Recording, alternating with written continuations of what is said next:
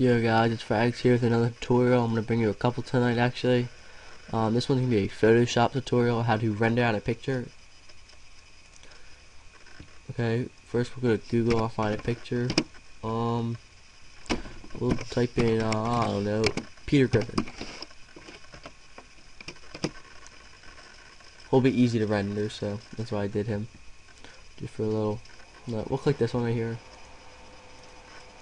save as Peter Griffin. We'll save it on desktop though. Exit out of your internet. Open up Photoshop. I already had it open for a time. Open desktop. Open Peter Griffin. Wait till it opens here. Do okay. First, you got to double click it click OK, so it unlocks it.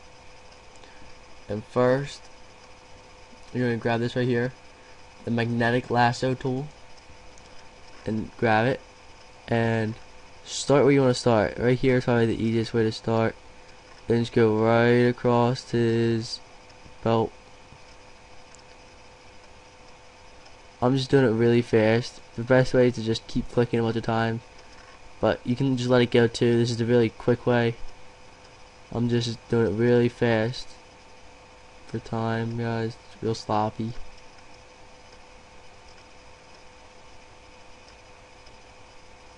Go down here.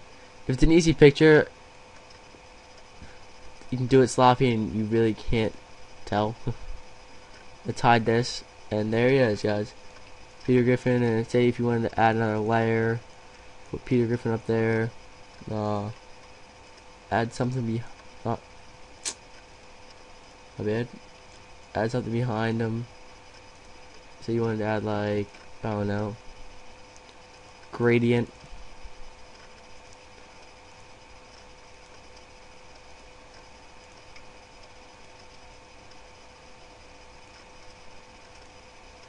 Then maybe add a uh, custom shape.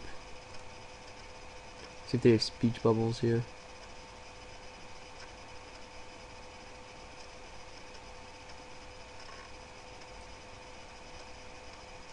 Here we go. Get some speech bubbles.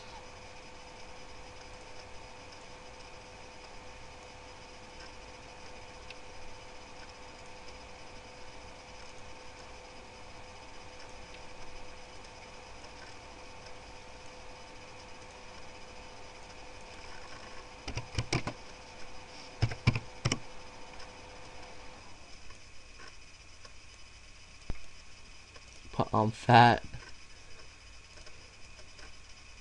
Putting this speech, put it in the uh.